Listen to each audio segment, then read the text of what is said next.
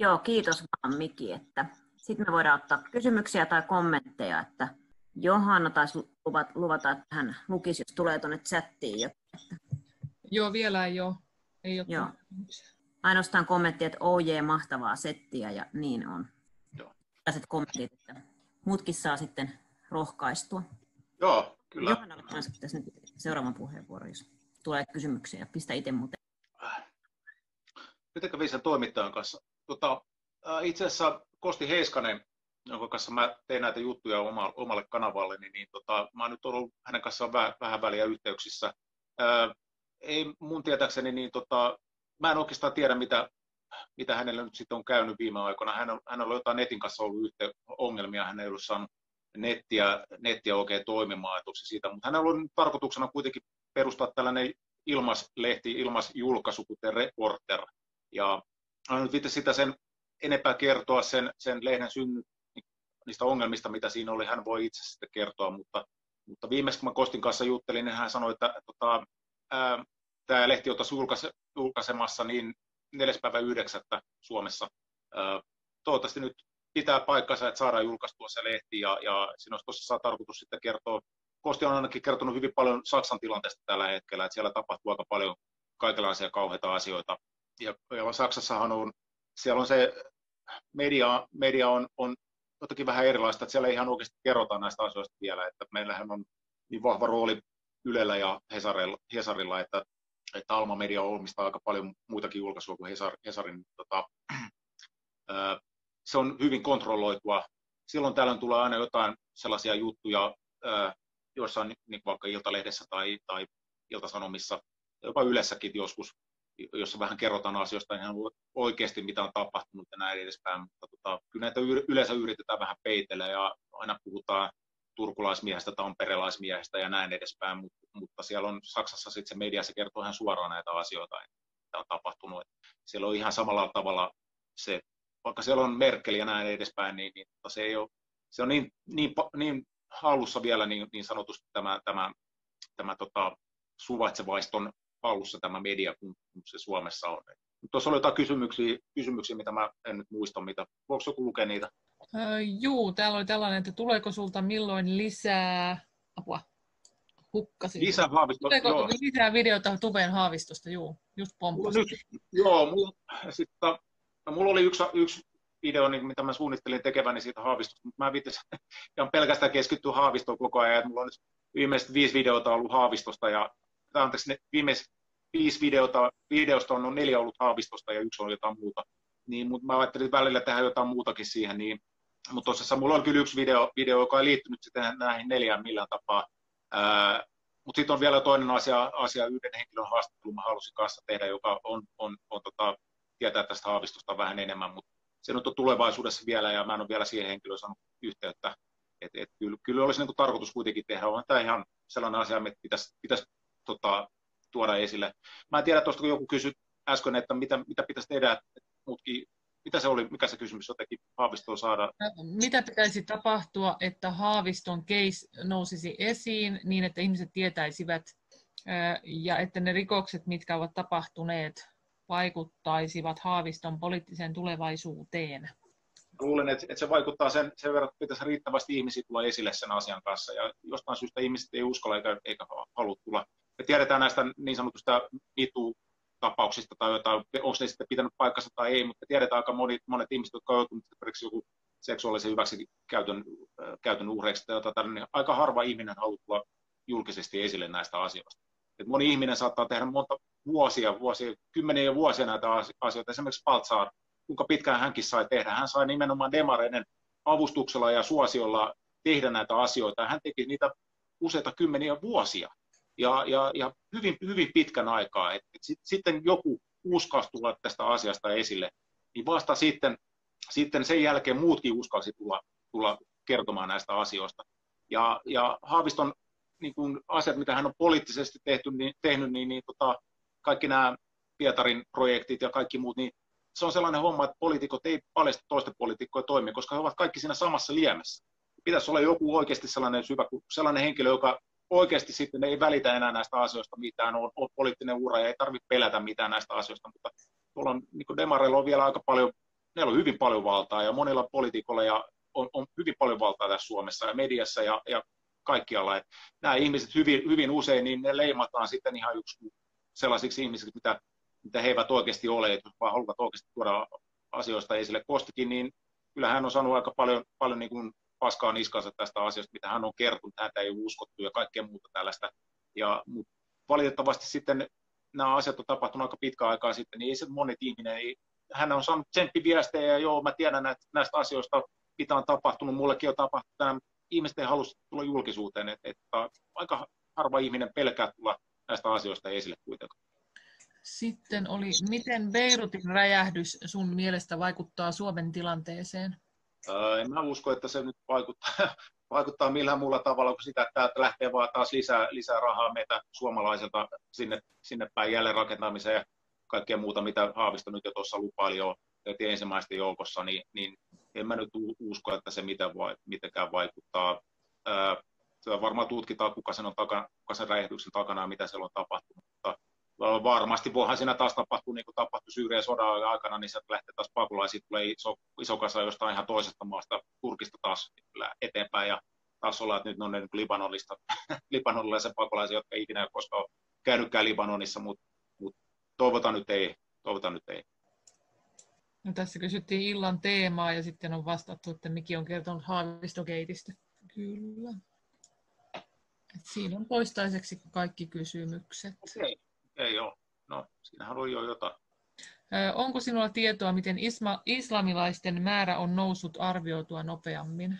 No noista, noista, noista tutkimuksista, mitä lukee, niin, niin, niin, niin heillähän on siis heillähän on minkälaista niin kuin, ehkäisyä oikeastaan käytössä, että, että, että heillä on tavallaan kunnia, kunnia että mitä enemmän lapsia tulee, niin sen parempi, ja, ja sehän on niin kuin tätä, nyt en viitti sen enempää avata tätä, koska sitten taas voi tulla syytä mulle taas, joka tapauksessa niin, niin, tota, niin heillähän syntyy hirveän paljon lapsia, ja, tota, ja esimerkiksi nyt somalin kielisiäkin, niin tota, olla niin kuin ihan enemmän alaikäisiä kuin täysikäisiä somalin kielisiä Helsingissä.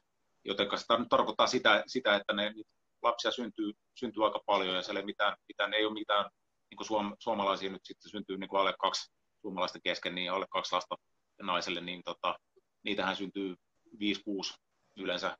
Ja sitten tietysti on maahanmuutto tietenkin, jossa se vaikuttaa tietenkin kanssa, ja, ja, ja tota, sieltä nyt tietysti tuli tämä ihan muutama vuosi sitten jo 30 000 ihmistä, ja, ja niistä, niin kyllä niistä nyt on jäänyt sitten ainakin, lopulta on jäänyt Suomeen ainakin 15 000 ainakin, että sieltähän lähti sitten joku joitakin tuhansia, mutta no sanotaan näin, että kyllä nyt aina se 15 000 ja ehkä 20 000. Ja sitten kun se on vielä yleensä sillä tavalla, että moni islamilainen äh, muslimi, niin, niin se tavallaan niin kuin tämän kasvattaa ne lapsensa sitten islamiin uskosiksi myös, vaikka hän sitten menisi naimisiin vaikka suomalaisen naisen kanssa. Et, et kyllähän se, kyllähän se nämä, nämä asiat vaikuttaa hyvin pitkälle siinä. No nyt tulee pitkä kysymys. Joo, siis noista Suomeen uskonto, ei ollut kysymys. Joo, on joo. siellä joku kysymys.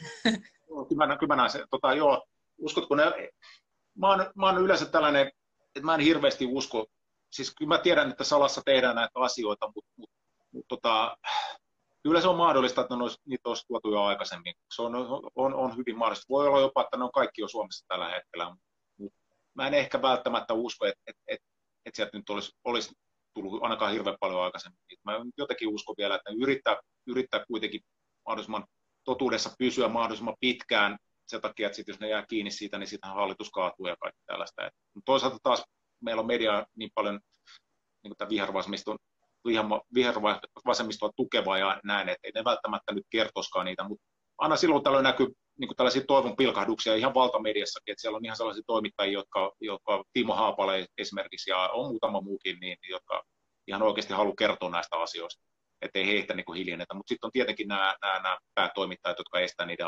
asioiden julkaisemisen. Mutta kyllä mä nyt uskoisin, että, että kyllä mä nyt uskon, että, että jos mä nyt joutuisin jotain prosentteja tässä sanoa, niin kyllä mä nyt ehkä uskon 70 prosenttisesti sitä, että, että ne tuli silloin, kun ne tuli, kun niistä kerrottiin, että niin tässä vielä kysyt jatkokysymyksiä, että olitko sinä siellä lentokentällä vastassa, kun jostain muistelen, että siellä pari kansalaistoimittajaa oli, mutta mitään näköhavaintoja ei kuitenkaan tehty, vai tehtiinkö? Joo, siis mä olin silloin, silloin ensimmäistä, kun tuli ne kaksi alaikäistä poikaa tänne Suomeen, niin silloin mä olin siellä lentokentällä ja tota, ää, silloin ne oikeastaan tuotiin, me odotettiin siellä jonkun aikaa, siellä oli muutama henkilö, ja oli Ylen toimittajia ja Iltalehden toimittajia mukana, niin, niin tota, me odotettiin aika pitkään siinä ja oli alkutietoa, milloin ne jotain sanottiin, että ne voisi tulla. Ja sitten taas uutta tietoa, että se tuleekin tunnin päästä. Ja me oltiin siinä jonkun aikaa, sitten siellä oli jo pikkasen viileitäkin ja näin edespäin. Ja sitten jossain vaiheessa mä ajattelin, että no okei, se oli nyt tässä näin, että eiköhän se nyt, sitten on varmaan jotain toista kautta kuljetettu, tähän oli niin kuin rahtikuljetus, ää, rahtikuljetus tota, ää, paikka, mistä, mistä, missä me oltiin silloin, eli, eli Helsinki-Vantaan lentokentällä. Ja sitten oltiin jos lähdössä, mä olin lähdössä toisen suuntaan autolla hakemassa muutamaa muuta henkilöä, jotka olivat mukana siellä.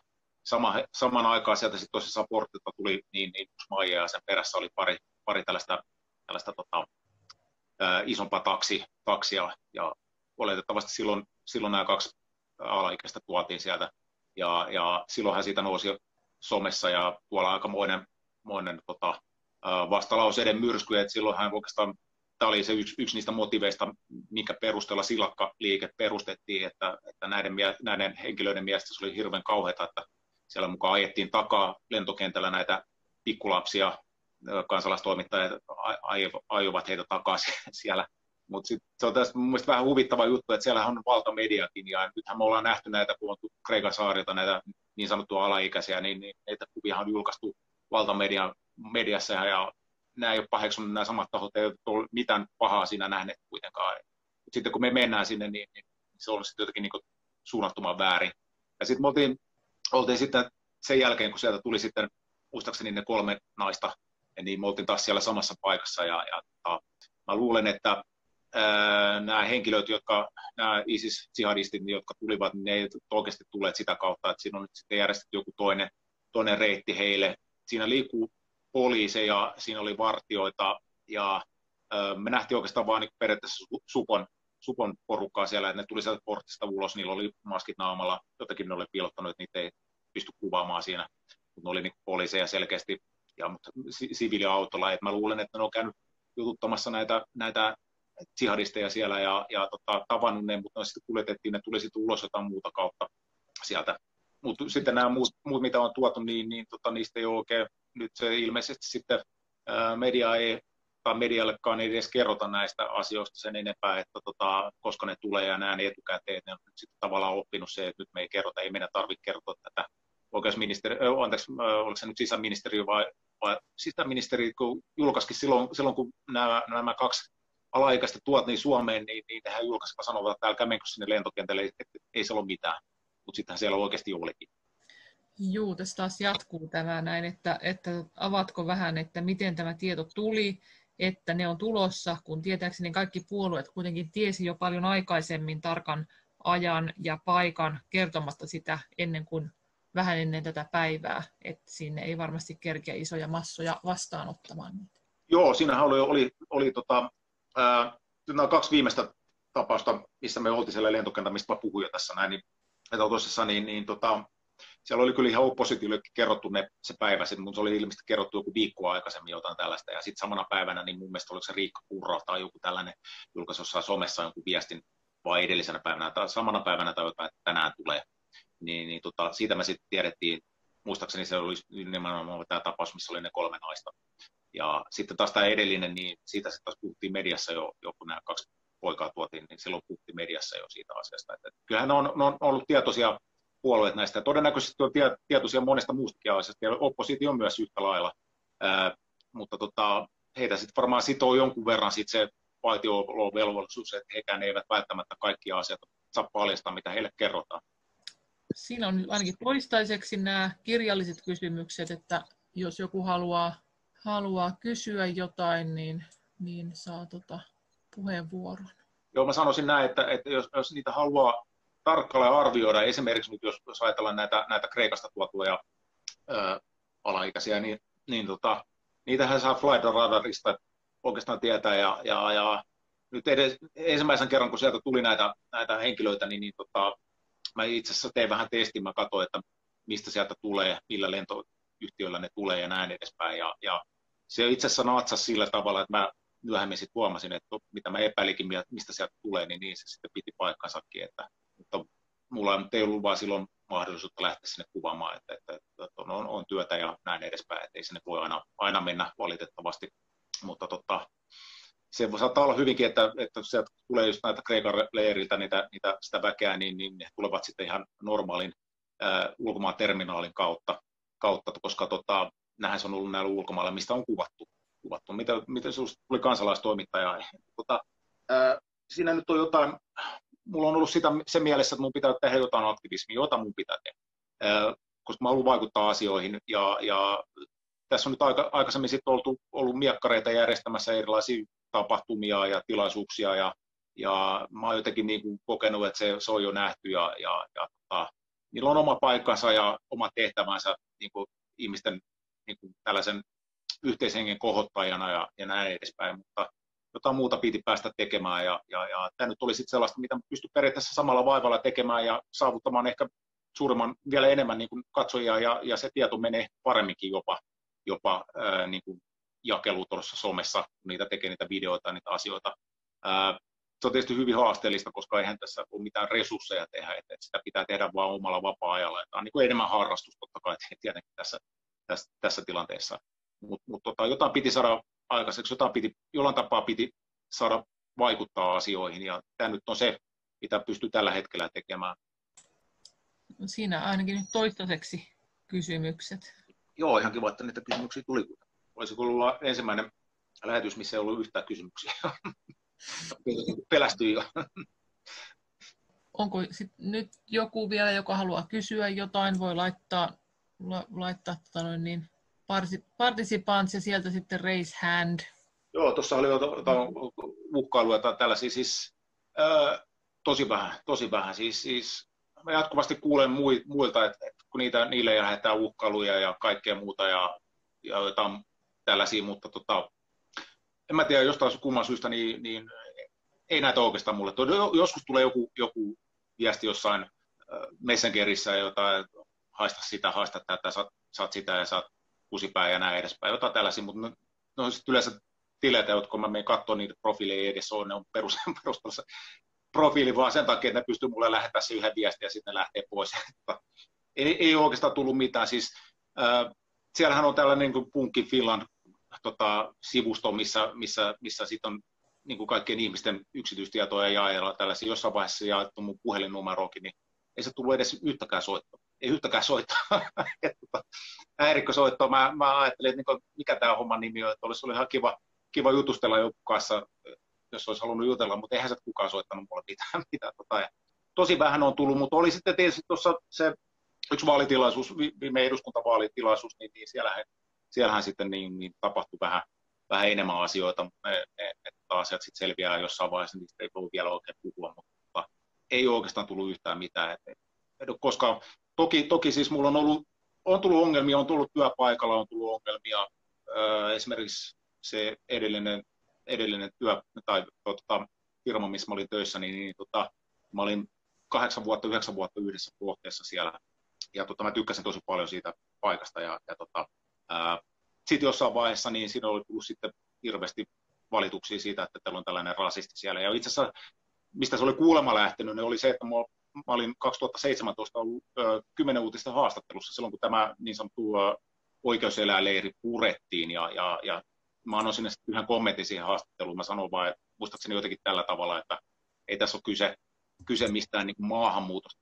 Kysymys oli näin, että mitä mieltä olet maahanmuutosta tai jotain tällaista, niin, niin tota, sanoin, mä sanoin, että tässä, tässä on kyse mistään maahanmuutosta. Tässä on kyse siitä, että jos olet laittomasti maassa, niin sinun pitää noudattaa tämän maan lakeja. Ja tämä oli sitten niin kuin kansalliskalleriassa ollut kauhea asia, että hirveä rasistit on siellä, siellä töissä. Ää, tota, Sinebrykoffin museossa, missä mä olin silloin, niin tota, niin, niin tota, siitä sitten tuli ja sitten siellä oli se museon johtaja. Mä tykkäsin hirveästi henkilökunnasta, ne oli tosi kivu henkilö. Tosi, vaikka ne olikin suoraan sanottuna lähestulkoon kaikki vihervasemmistolaisia, mutta ne oli, ihmisenä ne oli mukavia, kun hän alkanut niiden kanssa mitään politiikasta puhumaan ja, ja mä tykkäsin paikasta ja mä tykkäsin museossa olla töissä ja näin edespäin. Sitten se vaan se, se tota, tämä, tämä tota, museon johtaja oli sitten vaan sanonut, että mua ei saa enää päästää sinne. Ja mä en tiedä minkä takia, mutta sitten se oli tullut se päätös ihan jopa kansalliskallerian johdolta. Ja mua ei saa päästä enää mihinkään kansalliskallerian museoon. Ja, ja sitten tietysti mun, mun, mun tota, työnantaja joutui poistamaan mut sieltä ja mä olin sitten kaksi viikkoa sitten palka, palkallisella vapaalla ja sitä asiaa käsiteltiin, mutta ei ne pystynyt mulle mitään tekemään, koska ei ne löytänyt yhtään mitään. Mä olin, mä en ottanut yhtään mitään väärää. Kansallisgallerian johto antoi mulle niin, niin, niin sanotusti potkut näistä kans, paikostansa, että mua ei saa päästää sinne enää. Tosin siis niin töihin, kyllähän mä sitä asiakkaana päätin Mutta se on ollut niin ehkä se suurin ongelma, mikä mulla oli.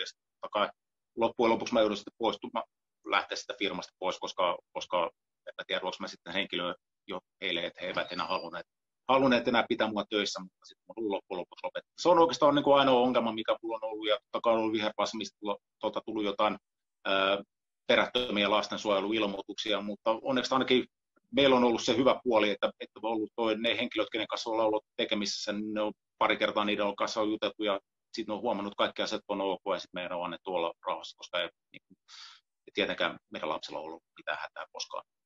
Nämä on nyt ne ongelmat, mitä on ollut, mutta ei mitään uhkailua, ei kukaan tullut missään, ei mitään tällaista koskaan, koskaan eteen ollut. Tuossa oli joku kans, oliko tuossa joku kysymys kanssa äsken? Öö, juu, tässä nyt sanotaan, että todella hyvä setti ja tämä on hyvä näyttää muille selkeä ja helposti ymmärrettävää. Kiitos, kiitos. Ja sitten tuossa oli kysytty, että koska se taltiointi tulee, mutta se on varmaan viimeistään huomenna tuonne YouTubeen. Osaatko sanoa, että mitä ihmettä sisältää yli tuhat sivua esitutkintapöytäkirjoja tässä Haaviston tapauksessa? Joo. Tai onko kyse pelkästään viivyttelystä, kun sehän on kätevä tapa kirjata vaikka runoja tuhat sivua, jos ei halua, että juttu etenee nopeasti, mutta tutkinnallisessa mielessä kuulostaa oudolta. Joo, mä en, mä en oikeastaan tiedä. Siis, siis äh, olihan silloin 2016, kun, kun tota, oli tämä niin sanottu kaapu, kaapumies siellä, siellä tota vastaanottamassa Lahdessa niitä, niitä turvapaikanhakijoita, turvapaikanhakijoita, niin siinäkin oli ihan suunnattomasti niin kuin tutkita materiaali, siis monta, monta, monta sivua, ja, ja minäkin tein yhdestä tota, tietokirjailijasta kerran niin, tota, rikosilmoituksen, kun hän oli maininnut mun nimen vähän niin kuin epä, epä tota, asiallisessa yhteydessä nimensä hänen kirjassaan. Ja tota, siinäkin tuli kahdeksan sivua tutkintamateriaalia. Ja en mä, en mä oikein, oikein tiedä, miten siinä on. Ehkä siinä on sitten vaan otettu niin paljon juttua sinne materiaali asia, että tota, kukaan ei enää tiedä, mistä tässä on kyse. En osaa sanoa, en sano. En, en tiedä ollenkaan. En tiedä. Mutta to, toisessa kuulostaa tuo ihan älyttömältä määrältä kuitenkin. Tässä on tämä jatkokysymys, että tuleeko nämä julkisiksi jossain vaiheessa? Niin no siis, äh, sitten kun se oikeudenkäynti, jos, jos se menee oikeudenkäyntiin ja tutkinta lopetetaan, sehän voi olla, että sitten ei nosteta edes syytettä, niin silloinhan niiden pitäisi tulla julkiseksi, mun käsittääkseni. Onkin kyllä mielenkiintoista, hyvä, hyvä, hyvä kysymys. Tämä, tota, se olisi kyllä ihan kiva sitten tilata, tilata nämä asiakirjat poliisilta. Kiitoksia paljon. Me varmaan lopetetaan nauhoittelu ja voidaan kyllä, kyllä jatkaa sitten vielä keskustelua tämänkin jälkeen. Mutta kiitoksia Mikille kovasti. Joo, hyvä. Kiitos teille ja kiitos kaikille kysymyksistä. Oli kiva, kiva olla teidän mukana. No niin, moikka!